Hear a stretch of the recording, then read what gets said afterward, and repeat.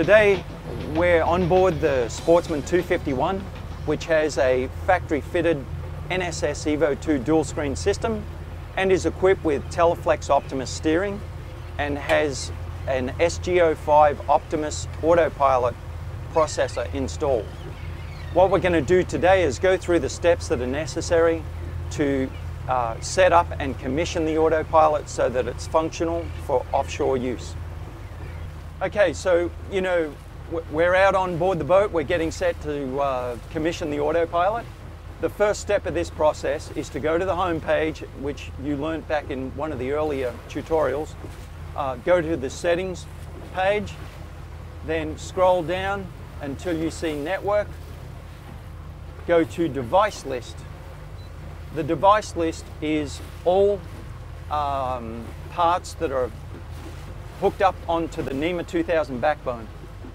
We need to scroll down and ensure that both the compass for the autopilot and the SG05 EVC pilot gateway are hooked up on the network successfully. And as you can see, we have the compass and we have the SG05 gateway. So we know we have active power going to both components. So we are, the next step will be to highlight the compass and we're going to go through the steps of how to calibrate the compass. You can see after I've highlighted the compass, I've opened up a launch page that gives me an option to configure or calibrate. In this case, we need to calibrate. Um, so that will open up another launch page that uh, gives us some instruction on what to do. Um, the calibration steps for the compass is, the first step is to press calibrate.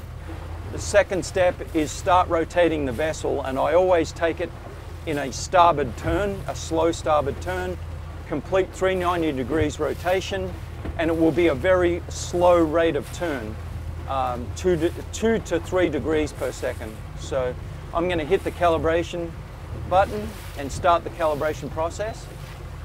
Okay, so start that starboard turn, just slow, and maintain that two to three degrees turn.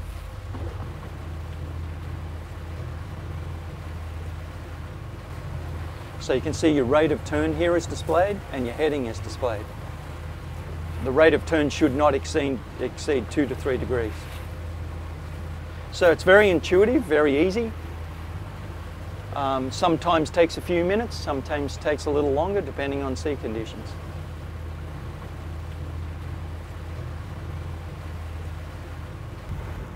Okay. So we now have a message that flashed up on the screen that say the calibration has successfully been completed. Another step in this process is checking the quality of the calibration is to check the magnetic field angle, which is the amount of magnetic interference that might be on the boat. We go to settings, network, device list, scroll down to the compass, and go to configure and the field level, the local field level is at 4 to 4%, which is more than acceptable. Um, any reading that exceeds 30% is unacceptable and I would suggest repositioning the compass if that's the case.